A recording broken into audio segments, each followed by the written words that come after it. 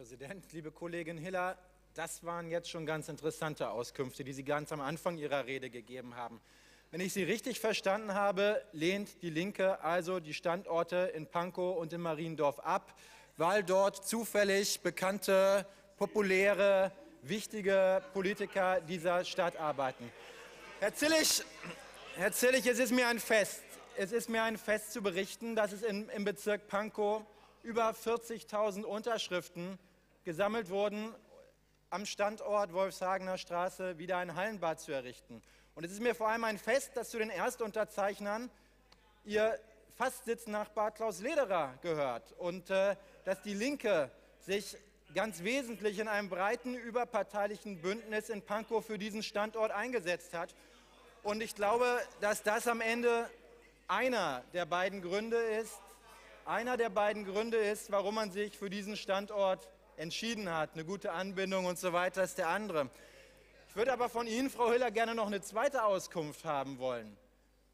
Die beiden Standorte Mariendorf und Pankow sind auch gewählt worden, weil die Bäderbetriebe dort große Gelände haben, auf denen ein neues Bad zu realisieren ist, auf eigenen Grundstücken, ohne neue Flächen dafür erwerben zu müssen. Frau Hiller, ist Ihre Erwartung denn, dass zusätzliche Millionen noch in die Hand genommen werden, um neue Flächen für die Bäderbetriebe zu kaufen? Oder ist es nicht vielleicht doch sinnvoller, sich die Standorte anzugucken und zu qualifizieren, auf denen die Bäderbetriebe, auf denen das Land Berlin schon heute ausreichend Platz und auch ausreichend Publikum hat, das zu machen? Dazu hätte ich schon ganz gerne eine Antwort von Ihnen. Vielen Dank.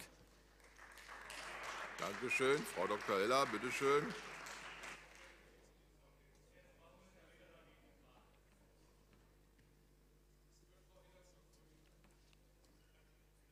Sehr geehrter Herr Buchner, Sie haben mich bewusst falsch verstanden.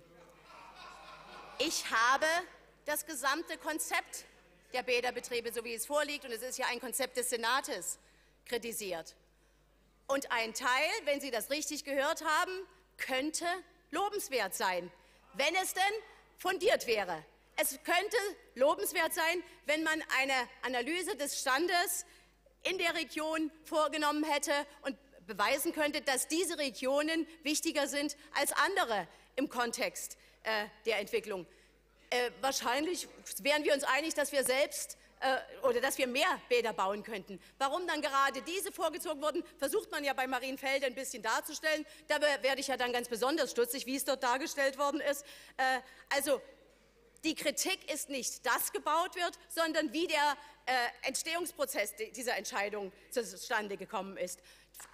Und ich kritisiere die Kosten, die dort entstehen sollen, die jedenfalls nicht durch unseren Ausschuss äh, in der Diskussion belegbar gemacht wurden. Wir haben nie diskutiert, dass wir Spaßbäder, um es Ihnen so zu sagen, haben wollen, sondern wir wollen Bäder, die der Daseinsvorsorge entsprechen.